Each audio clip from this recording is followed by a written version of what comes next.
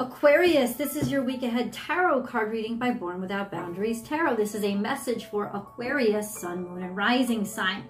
This is an energy reading, Aquarius, so you call it into you when you need something about this message, when the timing is right for you. But it's going to cast out for the week ahead, for the next seven days, and I'm going to break it down by each of the seven days so you can see how everything is going to play out. But Aquarius, this is where your message begins.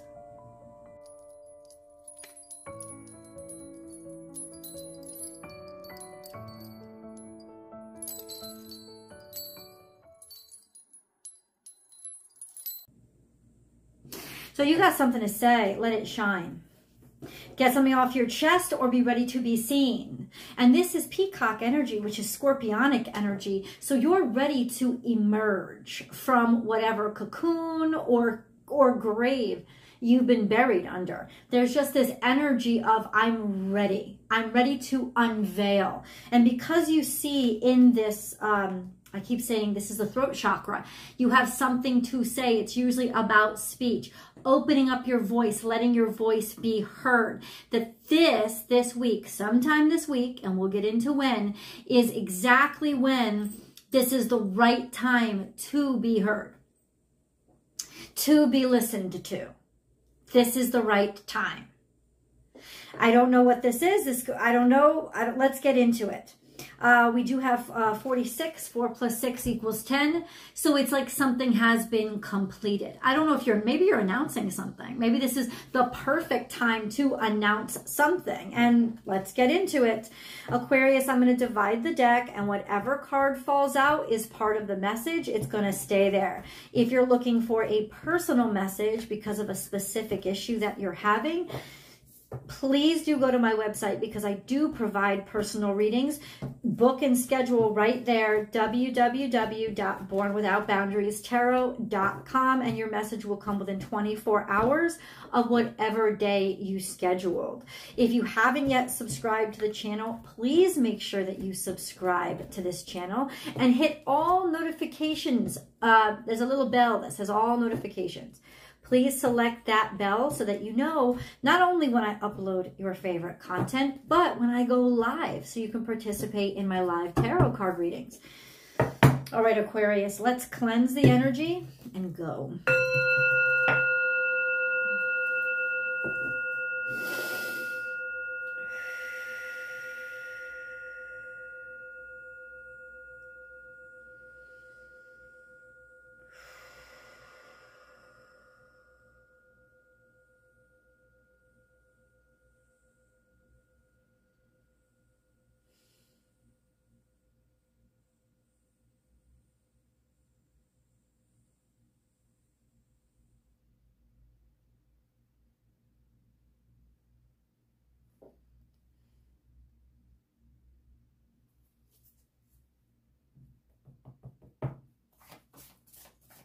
Aquarius, timing is everything right now. Don't jump the gun. That's going to be key to your success this week. Is what you have to say, getting it off your chest at exactly the right time. Aquarius, we start with take a leap of faith, but this was wishy-washy. This was something that you weren't sure of or didn't completely commit yourself to. This is something that comes up in the past um, which is probably why you still have something to get off your chest or something that may have had like um, um, something that may have had like a soft debut like like it didn't really it wasn't fully unveiled. Um, but now there's that sense of you're ready for the full gamut. I don't know but this started a little while ago. It wouldn't be like a year ago. This would have been like maybe up to a couple of months ago. But there's something here that kind of didn't completely um, you either you weren't sure of or you acted, but you acted within uncertainty. And that wasn't a good place or position to act from. So there is that sense of, okay, I, I need to actually announce it or say something now and kind of go full in or to point out that to point out that um, I don't know. All I hear is I'm ready now. Okay. And then we have now is a lucky time. Oh, I love There's so much that will be multiplied now for you. There's so much that will be um, almost easily prosperous for you. And maybe this is just a sense of before it wasn't the right time. You can feel in terms of timing, what I say, timing was everything right now. You can feel that that there is this is this is definitely the right time. Right? And because you waited, like don't jump the gun. You had to wait. Maybe maybe you wanted something to come out a little bit before but you def like this is confirmed. You had to wait. You were right to hold back. You were right to hold up or not push whenever this was. You were you were right to wait till this moment because this is when it's going to be optimized. This week is when everything all all this energy whatever you're doing whatever you're engaged in this is when it's going to be optimized. So let's pick day seven. We're going to get into the seven day play by play. I'm going to choose day seven and then leave it here uh, to see how everything adds up and concludes. Aquarius, how does all of this resolve day seven?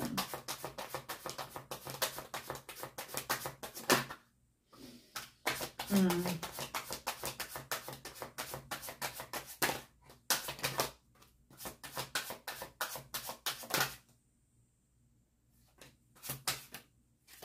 That's a lot there. Let's go, day one. How does this all begin? And remember, day one could be Monday, could be Tuesday, could be Sunday, it doesn't matter. It's when you're watching this video. So Aquarius day one, how does this all begin?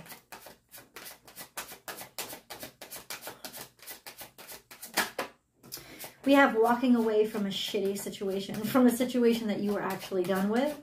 I know that it's weird, like, why wouldn't I just walk away? Because it was emotional. And nobody hangs on to an emotional connection like an Aquarius who's finally had one.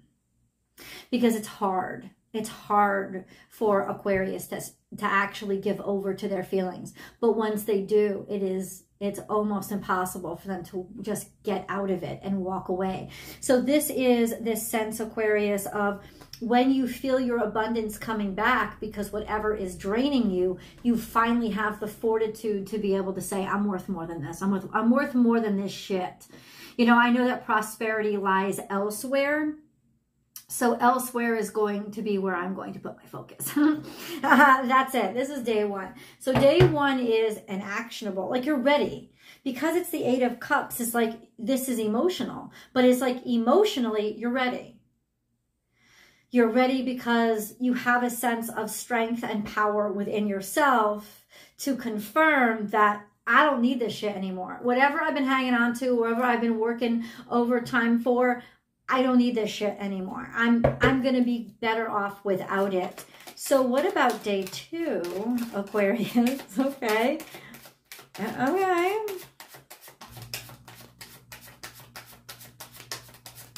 Day two for Aquarius, okay?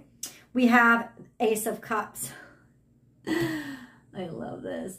As soon as you let go of what you don't care about anymore, because Eight of Cups is really about, I just don't have any, I don't like it anymore. I, I don't have any love for it anymore. I'm kind of done putting any effort into it. So it's when, it's when you almost become apathetic towards something. But day two is, oh, now that there's this brilliant new offer. So it's not like you left because of this offer. It's you left and then you made room for this brilliant and beautiful, oh, I love you. Oh, I care about you so much. Oh, I want you. Or this connectivity of being fulfilled or knowing exactly what fulfills you, having that revealed to you. Um, this beautiful offer or opportunity in connection or communion who is this? What is this coming in on day two for Aquarius, please?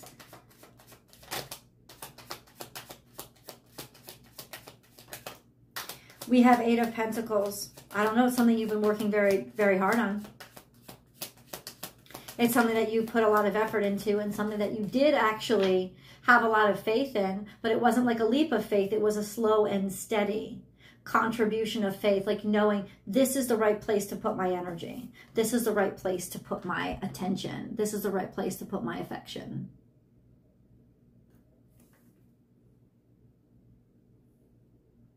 That's weird. I gotta take care of that. I know. Now that's all you're gonna say. That's all I'm gonna say. What about day three for Aquarius? I know. Sorry, guys. Um, a new offer. A kindness. This could also be a kindness. It doesn't have to be an offer in love. It's just somebody extending being kind to you or being able to be kind or offer a kindness because you're so filled with fulfillment and happiness because you got rid of the shit that wasn't working for you. There's all there's this bunch of prosperity that's happening now and confirming it could even be that people love your work. Right? And then all of a sudden there's this there's this um page of cups, this sense of giving this sense of open heartedness, this sense of I'm ready for something new, I'm ready to begin again. This could be a new child. I mean, that's, that's what it could be as well.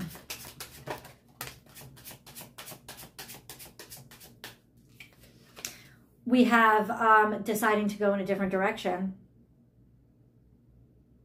This could change your mind and make you finally it be what finally pushes pushes you forward to know I know I now know what I want. I now know I want this new thing or going in a different direction with your affections. Being pulled in a different direction uh, uh, with your affections. Uh, it's almost like you're over one thing and onto another very quickly. very quickly this week. What about Aquarius day four? When you're ready, you're ready, you know? Hmm. Aquarius. Yeah, you made the right investment. It's almost like your ships have come in. So watch, day three is very significant. And let's go back to, to why. Because there's this kindness. It's a soft offer. It's a soft consideration, but it's a sweetness. And this kindness is what's going to, or should, you should let this kindness guide your eyes and direct your focus to another possibility out there right it's it's this this kind word that kind of sways the situation just enough so that you look into the right direction that is absolutely the right direction because this is where you should be looking for the abundance to come in and the strength now to receive it, the strength to not be afraid. There's, there's something here where now I can look in the direction of prosperity because I don't have to be afraid of it anymore. And I'm not afraid of it anymore. I'm not afraid to watch what something, or I'm not afraid to wait as something arrives you know, just this sense of realizing what really matters and not holding on to maybe a safety, a safety net of some sort. So day three is really significant because it sets you up to be open and receptive for what wants to come through for you on day four. What about day five? Aquarius. Standing up for what you believe in and, and not giving up uh, deciding to fight for what you know is right, and deciding to uh, really stand behind something that matters to you, even if something seems like. So, in other words, day five is when the challenge comes. Day five is when the naysayers for the decision that you made start to get in your face and start to come come for you. And there's just this sense that there's such strength because you've seen how right you were there's such strength behind that. This is why the strength card arrived on day four. There's such strength behind it that there, there's a sense of, I'm not giving this up. I know this is meant for me. I know this is right for me. And I don't feel bad at all for letting go and leaving behind whatever this crap is that didn't work for me. I'm good, yo. Peace out. And then we have day six. Day seven, there's a lot that's going to happen, though, because there's a lot of cards that came out. Day six, what happens day six? Queen of Wands. Are you dealing with a Leo, Sagittarius, or Aries or just somebody who is very attractive, very noticeable, very um, upfront. Could be somebody that has like sort of a public position, or maybe when you go public about something, or have the confidence to finally talk about it, right? That that that could be as well. Who is this Queen, Queen of Wands? Can you specify, please? It could be a dynamic of yourself, could also be somebody that you're dealing with. It's a new opportunity and a new goal. It's a new passion. It's a new inspiration. It's a new project or it's a new, necessarily project. It's a new direction. And I don't, I think that at this point, if this represents a piece of you, this is actually when everybody else sees it. This is when everybody else recognizes, holy shit, Aquarius was right. This needs to be the direction that we're going in. This is the good choice. This is the, pro it's almost like in some ways, that's when you make everybody else realize, especially after you stood up for what you believe in. This is like a sense of, oh, now everybody else gets it and you're carrying a baton, there's some sort of leadership here, or you being a forerunner, or trusting this person that has this very fire, futuristic energy to them. This sense of, oh, no, no, we may be blazing, we're blazing a trail here. That's why some people may not get it, but oh, they're going to follow very quickly. Let's see about the moon card. I really want to understand how this is impacting emotionally look at the bigger picture. This is Sagittarius full moon. So there's just this energy of allowing yourself to release or open up your perspective or perception zooming out, which is what Sagittarius energy is all about, zooming out, full moon in Sagittarius, looking at the bigger picture, this sense of there's more going on here. And I'm looking for the future. And this is what it is. This is, this is that energy of there's a bigger picture going on here. And that's why I'm not going to be short-sighted about this. That's why everything in your mind has been looking out, having the strength to see what projects into the future. This is like, I mean, it could be, this is simplifying it, but it could be something as basic as predicting a trend. That's going to be really, really clear to you this week and know, wow, this is the direction that everything is headed in. I got to climb on board. And yes, you've been due. Aquarius, please come over to the extended reading. I absolutely cannot wait to see you there. Link is in the description box below, and I've pinned it to the top of the comment section for your convenience. I'll see you there.